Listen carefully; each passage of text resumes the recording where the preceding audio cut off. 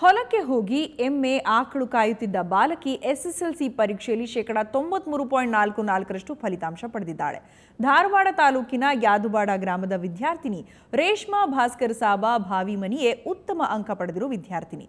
ಫಕೀರಪ್ಪ ರಾಮಪ್ಪ ಬುಳ್ಳಿ ಸರ್ಕಾರಿ ಪ್ರೌಢಶಾಲೆಯಲ್ಲಿ ಓದಿದ ಬಾಲಕಿ ಆರುನೂರ ಇಪ್ಪತ್ತೈದಕ್ಕೆ ಐನೂರ ಎಂಬತ್ತೊಂದು ಅಂಕಗಳನ್ನು ಪಡೆದಿದ್ದಾಳೆ. ಕನ್ನಡದಲ್ಲಿ ನೂರ ಹದಿನಾರು, ಇಂಗ್ಲಿಷ್ನಲ್ಲಿ ತೊಂಬತ್ತಾರು, ಹಿಂದಿಯಲ್ಲಿ ತೊಂಬತ್ತೊಂಬತ್ತು, ಗಣಿತದಲ್ಲಿ ಎಂಬತ್ತೈದು ಸಮಾಜದಲ್ಲಿ ತೊಂಬತ್ತೆಂಟು ಹಾಗೆ ವಿಜ್ಞಾನದಲ್ಲಿ ತೊಂಬತ್ತು ಅಂಕವನ್ನ ಪಡೆದಿದ್ದಾಳೆ.